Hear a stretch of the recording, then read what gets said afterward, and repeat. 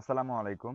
Slick slider টিউটোরিয়ালে আপনাদের সবাইকে স্বাগত জানাচ্ছি আমি আব্দুল্লাহ আল ইমরান আজকের এই টিউটোরিয়ালে আমি আপনাদেরকে দেখাবো কীভাবে কমপ্লিট একটা হোম স্লাইডার তৈরি করতে হয়। আচ্ছা কেউ এটাকে হোম স্লাইডার বলে, কেউ হিরো স্লাইডার বলে, আবার কেউ মেইন স্লাইডার বলে। যাই হোক, যে যাই বলেন না কেন, এই স্লাইডারটা তৈরি করে আমরা আজকে দেখব। তো আমরা স্লাইডারের মধ্যে কি কি ফিচার দিব? যেমন এরকম একটা সুন্দর একটা স্লাইডার তৈরি করব। স্লাইডার মধ্যে একটা টেক্সটগুলোর মধ্যে একটা অ্যানিমেশন ইফেক্ট দিব এবং ব্যাকগ্রাউন্ড ইমেজের মধ্যে একটা অ্যানিমেশন ইফেক্ট দিব। দেন হচ্ছে আমরা এই যে যখন নেক্সট এর মধ্যে হোভার করি, অর্থাৎ নেক্সট আইকনের মধ্যে হোভার করি, তখন যেন এখানে একটা নেক্সট যে স্লাইডারটা আছে সেটা যেন এখানে দেখা যায়, এটাও আমরা এখানে অ্যাড করব এবং সেম ফ্রি ফ্রি আইকনের মধ্যেও। এবং যখন আমরা প্রেজেন্টেশনে হোভার করব, তখন কারেন্ট প্রেজেন্টেশনে হোভার করলে কারেন্ট যে স্লাইডারটা আছে, ওটা দেখাবে। এবং হচ্ছে আপনার নেক্সট যেটা আছে সেটা দেখাবে, এখানে হোভার করলে পরে যেটা আছে সেটা দেখাবে। যাই হোক, আমরা এই ধরনের কিছু অ্যাডভান্স কিছু ইফেক্ট এখানে অ্যাড করব। স্লিক স্লাইডারের মাধ্যমে, ঠিক আছে? তো স্লিক স্লাইডারটা আসলে খুব জনপ্রিয় এখন বর্তমানে।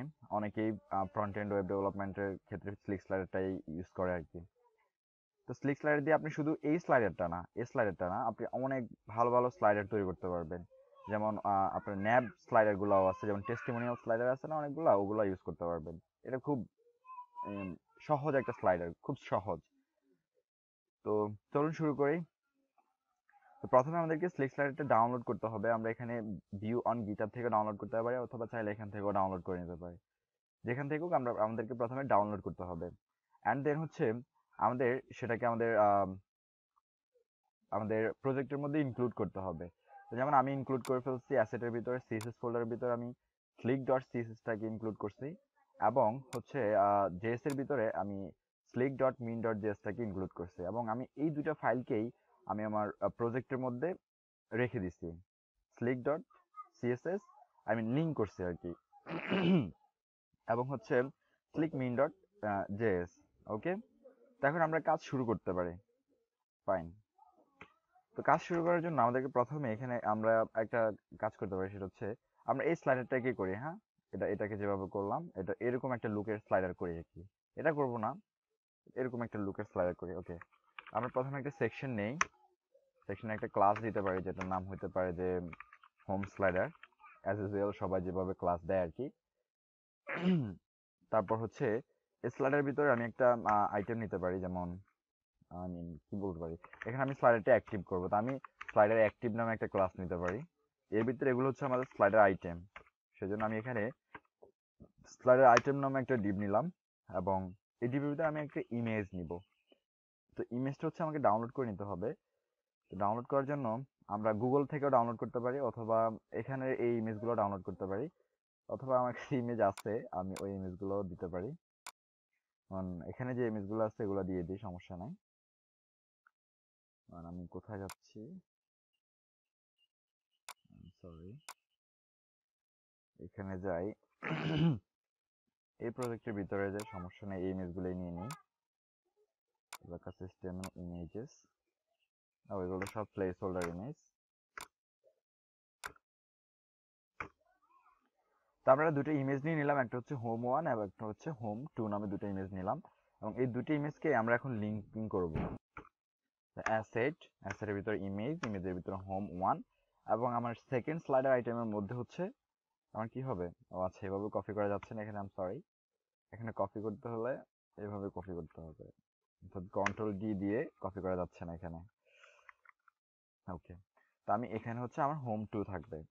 তো এখন আমি যদি এই দুটো জিনিসকে ব্রাউজারে ওপেন করি, তাহলে কি দেখতে পাবো একটু দেখি?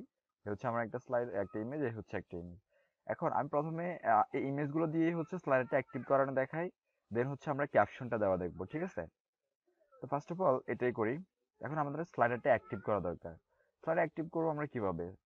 আমরা যদি ওদের ওয়েবসাইটে যাই, তাহলে আমরা দেখতে পাবো যে ওরা আমাদেরকে খুব সুন্দর করে বলে দিছে যে আসলে স্লাইডারটা কীভাবে অ্যাক্টিভ করতে হবে, কীভাবে ইউজ করতে হবে, এবং স্লাইডারের মার্কআপটা কি হবে? তো যেমন এখানে মার্কআপটা হচ্ছে এরকম যে your slider class your slider class এবং তার ভিতরে হচ্ছে ডিপগুলা ঠিক আছে? ইউর কন্টেন্ট আমরা দেখুন সেম মার্কআপটাই কিন্তু এখানে করছি। যেমন এখানে হচ্ছে আমরা যদি আমাদের স্লাইডারটাকে অ্যাক্টিভ করি, আমি একটু গুছাই নিচ্ছি, দাঁড়ান। একটু একটু সময় নিচ্ছে। আমরা যদি এখানে আমাদের স্লাইডারটাকে অ্যাক্টিভ করি, তাহলে এ হচ্ছে আমাদের একটা স্লাইডার আইটেম এ হচ্ছে আমাদের আরেকটা স্লাইডার আইটেম এ হচ্ছে আমাদের আরেকটা স্লাইডার আইটেম ঠিক আছে? তো আমরা সেম মার্কআপটাই কিন্তু করছি। অ্যান্ড দেন বলছে কি বলছে হচ্ছে এটা কল করতে হবে সিএসএসটাকে কল করতে হবে, জেএসটাকে কল করতে হবে। ওকে, আমরা আমরা সেটাও করলাম। এখন হচ্ছে আমাদের হচ্ছে অ্যাক্টিভ করার সিস্টেমটা। তো এখন এখানে বলছে কি, একটা ডকুমেন্ট রেডি ফাংশনের ভিতরে রাখতে হবে, রেখে এটা করতে হবে। এই যে ওদের এই স্লিক ফাংশনের মাধ্যমে তাদের স্লিক স্লাইডটাকে অ্যাক্টিভ করতে হবে। তো আমরা সেম কাজটাই করব। আমরা আমাদের জেএস ফোল্ডারের ভিতরে যে চলে যাই, এই যে অ্যাক্টিভ ডট জেএস ফোল্ডারের ভিতরে, এখানে চলে আসি। তো এখানে ওরা হচ্ছে ডকুমেন্ট রেডি ফাংশনের ভিতরে রাখছে না, আমরা ডকুমেন্ট রেডি ফাংশনের ভিতরে রাখব না। আমরা হচ্ছে স্ট্যান্ডার্ড যে করে যেভাবে লিখে আর কি আমরা সেভাবে লিখব, ঠিক আছে? তো আমরা প্রথমত যেটা করতে হবে, আমাদেরকে প্রথমত এখানে লিখতে হবে ফাংশন ফাংশন লিখে এখানে এখানে একটা ডলার সাইন দিতে হবে। এই ডলার সাইনের মানে হচ্ছে যখন ওয়ার্ডপ্রেসে যাব তখন বুঝাবো। এখন হচ্ছে বুঝালে বুঝবেন না। এবং এখানে হচ্ছে আমাদেরকে যে কোয়েরি বলে দিতে হবে, যে যে কিউ ই যে কোয়েরি যে কোয়েরি কিউটা মনে হয় বড় হাতের হবে। আম শিওর আচ্ছা ওকে হয়ে গেছে। এভাবে হচ্ছে আমরা যে কোয়েরিটাকে আমরা যে কোয়েরি রাখার জন্য আমাদের এই ফাইলটা এখন রেডি এমনিতেও রেডি বাট এখন স্ট্যান্ডার্ড ভাবে রেডি আর কি। অ্যান্ড দেন হচ্ছে আমাদেরকে সিলেক্টারের ফাংশনটা লিখতে হবে। তো অ্যাজ ইউজুয়াল আমরা যেভাবে যে কোয়েরি লিখি, আমরা এখানে তো ইয়ে লিখি না, এখানে ক্লিক ফাংশন লিখি, যাই হোক হোভার ফাংশন লিখি, অনেকগুলো লিখি। তো সেম ভাবে আমাদেরকে এখানে লিখতে হবে স্লিক এখানে আমাদেরকে স্লিক লিখতে হবে, যেহেতু আমরা স্লিক স্লাইডারটা নিয়ে কাজ করতেছি।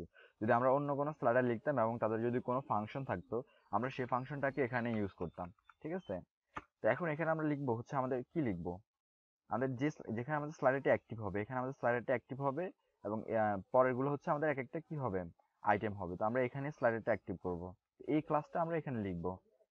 সিএসএস যেভাবে ক্লাস সিলেক্ট করে একটা ডট দিয়ে একটা ডট দিলাম নেক্সট আমরা ক্লাসটা দিলাম ওকে সিলেক্ট করে ফেললাম। এখন স্লিক স্লাইডার ডিফল্ট ভাবে কয়টা আইটেম থাকে? আমরা যদি একটু দেখে আসি, কয়টা আইটেম থাকে আমরা একটু দেখে আসি যে আইটেমস অর্থাৎ এটাকে আইটেমস বলে না, এটাকে বলা হচ্ছে slide to okay the slide slide slide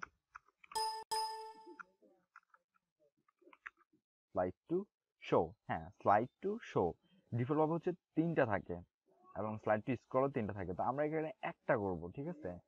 আমরা এখানে একটা স্লাইডার করব। যেমন এ তো এখানে স্লাইডার করার জন্য এটা হচ্ছে আমরা যেটাকে বলতে পারি জাভা স্ক্রিপ্টের অর্থাৎ জাভা স্ক্রিপ্টের অ্যারে আর কি, যে করে অ্যারে তো যে করে অ্যারে লেখার জন্য যেভাবে করতে হয়, এই ফার্স্ট প্যাকেটের ভিতরে ফাংশনটার ভিতরে আমাদেরকে একটা সেকেন্ড প্যাকেট দিতে হবে। সেকেন্ড প্যাকেট দিয়ে এখানে লিখতে হবে। ওকে আমরা স্লাইড টু শো হবে আমাদের কয়টা? একটা হবে, তাই না? আমাদের এখানে একটা করে দেখাবে। এবং অলসো স্লাইড টু স্ক্রল যেটাকে বলি আমরা, সেটা হচ্ছে স্লাইড টু স্ক্রল এই স্লাইড টু স্ক্রল হবে একটা করে। স্লাইড টু স্ক্রল হবে একটা করে। ফাইন আমরা লিখে ফেললাম। এবার আমরা যদি একটু আউটপুট দেখি, আমরা দেখব যে আমাদের স্লাইডারটা অ্যাক্টিভ হয়ে গেছে। ঠিক আছে? এখন আমাদের এখানে কিন্তু দুইটা ইমেজ নাই, যে আমাদের এখানে প্রিভে ক্লিক করলে স্লাইডটা অ্যাক্টিভ হয়ে গেল, তাই না? ফাইন এখন আমরা যেটা করব, আমরা হচ্ছে এই দুটা অ্যারোকে আমরা ডিজাইন করব। অর্থাৎ এটাকে পাশে রাখব, এটাকে পাশে রাখব। তো শুরু করে দেই অ্যারো ডিজাইন তো অ্যারোটাকে হচ্ছে, এখানে তো প্রিভিয়াস টেক্সট দেওয়া আছে, একটা হচ্ছে নেক্সট টেক্সট দেওয়া আছে। তো এগুলার কন্টেন্টগুলো আমরা অনেকভাবে চেঞ্জ করতে পারি, ঠিক আছে? এই কন্টেন্টগুলো আমরা অনেকভাবে চেঞ্জ করতে পারি। তা আমরা অনেকভাবে চেঞ্জ না করে ওদের এখানে একটা স্ট্যান্ডার্ড জিনিস দেওয়া আছে, সেটা হচ্ছে অ্যারে কীভাবে চেঞ্জ অর্থাৎ অ্যারোগুলো কীভাবে চেঞ্জ করতে হবে। তো যেমন আমরা যদি এখানে লিখি অ্যারোজ ওকে অ্যারোজ অ্যারোজ লেখার পর এখানে আমরা যখন আসব, তখন কিন্তু অ্যারোজ নামে কিছু দেখতে পারব। যেমন অ্যারোজ হচ্ছে ট্রু আর ডিফল্টভাবে ট্রু থাকে।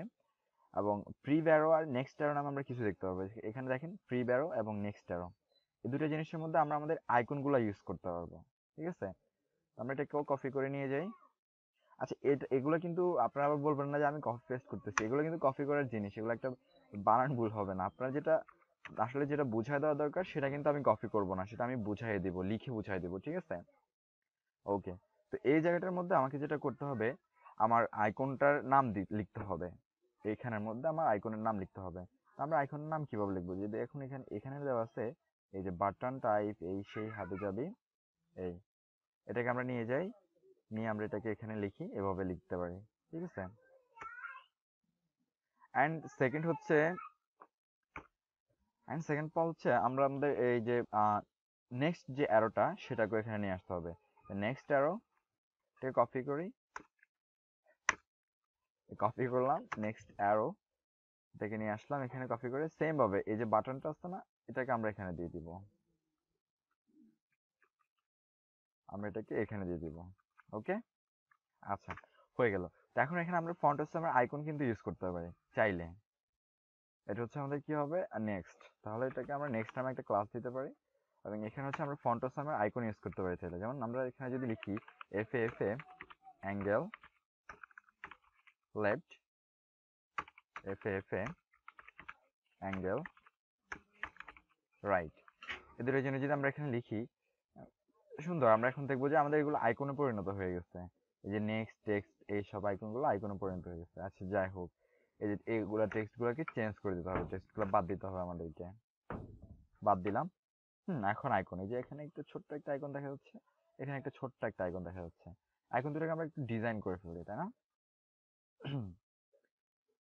আইকন দুইটা ডিজাইন করার জন্য আমাদেরকে যেটা করতে হবে, এই যে স্লিক ফ্রিব আমরা প্রথমে স্লিক ফ্রিবটাকে ডিজাইন করে ফেলি। স্লিক ফ্রিবের কি হবে? স্লিক ফ্রিব স্লিক ফ্রিবের মধ্যে কি হবে? এর একটা উইড দেই উইড হচ্ছে আমাদের পঞ্চাশ পিক্সেল দেই। হাইট পঞ্চাশ পিক্সেল দেই। লাইন হাইট দেই একটা পঞ্চাশ পিক্সেল ওকে দেন হচ্ছে এটাকে পজিশন অ্যাবসলিউট করি। লেফট থেকে জিরো করি। টপ থেকে ফিফটি পার্সেন্ট করি। এবং এই, এটার যে হাইটটা আছে, ওই হাইটেরই অর্ধেক মার্জিন টপ মাইনাস করে দেই টোয়েন্টি ফাইভ পিক্সেল তাহলে এটা মানে একদম একদম প্রপারলি সেন্টার থাকবে। ভার্টিক্যালি আমরা যেটাকে সেন্টার বলি প্রপারলি ওই সেন্টারে থাকবে, ঠিক আছে? অ্যান্ড দেন হচ্ছে একটা জেট ইন্ডেক্স দিয়ে দিই, যেহেতু এটা এখানে এখানে দেখা যাচ্ছে না। নিচে দেখা যাচ্ছে, একটা জেট ইন্ডেক্স দিয়ে দিতে পারি। যেমন জেড ইন্ডেক্স হচ্ছে ফাইভ এটা এখানে দেখা যাচ্ছে ফাইন ওকে দেন হচ্ছে আমরা যেটা করতে পারি সেম সেম কাজটাই সেম কাজটাই আমরা হচ্ছে এখানে রাখতে পারি। আর এটার নাম হবে স্লিক নেক্সট আর এই যে কোডগুলো করলাম, এই কোডগুলোকে আমরা এখানে দিয়ে দিতে পারি। ওকে দিয়ে দিলাম। বাট এটা তো আর লেফট থেকে হবে না, তাই না? এটা তো হবে রাইট থেকে। রাইট থেকে জিরো থেকে সেম হয়ে গেল। আমরা এখন যদি দেখি যে আসলে আমাদের সুন্দর একটা স্লাইডারের আইকন তৈরি হয়ে গেল। আমরা এই, এইগুলাকে আমরা আমাদের সিএসএস ফাইলের ভিতরে সেভ করে ফেলি হ্যাঁ? এখানে সেভ করে ফেললাম। এখন আমরা যদি দেখি, আমাদের সুন্দর একটা স্লাইডার তৈরি হয়ে গেল। হলো না? এই যে। সুন্দর একটা স্লাইডার তৈরি হয়ে গেল আমাদের। আচ্ছা ফাইন এখন আমাদেরকে যে কাজটা করতে হবে, আমাদের এটাকে স্ক্রল করে দেখা লাগতেছে, আমাদের ভালো লাগতেছে না, তাই না? ইমেজটাকে আমরা যদি হাইট হান্ড্রেড পার্সেন্ট করে দেই, কেমন হয়? যেমন স্লিক স্লাইডার আইটেম যে আছে স্লাইডার আইটেম স্লাইডার আইটেমটাকে যদি আমরা হাইট হান্ড্রেড পার্সেন্ট করি, অর্থাৎ হাইট হান্ড্রেড পার্সেন্ট করার জন্য এখানে লিখতে হবে হাইট হান্ড্রেড বিএস অর্থাৎ বিউফোর্ট হাইটটা এখানে নিয়ে নেবে, ঠিক আছে? এবং with also height hundred VH ঠিক আছে? সরি হান্ড্রেড বিএইচ হবে। ওকে সেম হয়ে গেল কাজটা। এবং অলসো আমরা যদি চাই যে আমাদের ইমেজটাও সেম ভাবে থাকুক হাইট হান্ড্রেড বিএইচ থাকুক তাহলেও হবে। বাট আমাদের ইমেজটার দরকার হচ্ছে না, আমাদের ইমেজটা অটো নিয়ে নিচ্ছে, তাই না? আমাদের ইমেজটা এখনই সুন্দর লাগতেছে। যখন হান্ড্রেড পার্সেন্ট করব, তখন কিন্তু হয়তো ইমেজের লুকটা চেঞ্জ হয়ে যেতে পারে ইমেজটা একটু চ্যাপটা হয়ে যেতে পারে। ওকে হ্যাঁ fine look good nice right now okay এখন আর স্ক্রল করে দেখতে হচ্ছে না। এখন আমাদের খুব সুন্দরভাবে এটা দেখতে পারতেছি। তো আমরা দেখলাম যে আমাদের ইমেজটা রেডি অর্থাৎ আমাদের বেসিক একটা ইমেজ স্লাইডার রেডি হয়ে গেল। তো ইমেজ স্লাইডারে এখানে ওদের অনেক ইফেক্ট আছে। আমরা ইফেক্টগুলো চাইলে দিতে পারব। যে ইমেজের মধ্যে একটা ফেড ইফেক্ট হবে, নাকি অ্যানিমেশন হবে, কি হবে, না হবে, এই জিনিসগুলো আমরা এখানে দিতে পারব। ওকে এবং অ্যানিমেশনগুলো কোন স্টাইলের হবে? আমরা যখন এগুলো ঘুরে ঘুরে দেখব, তখন আমরা দেখতে পারব। তো আমরা এই জিনিসগুলো পরবর্তী টিউটোরিয়াল দেখব। এই টিউটোরিয়াল এই পর্যন্তই। ভালো থাকবেন সবাই। আল্লাহ হাফেজ।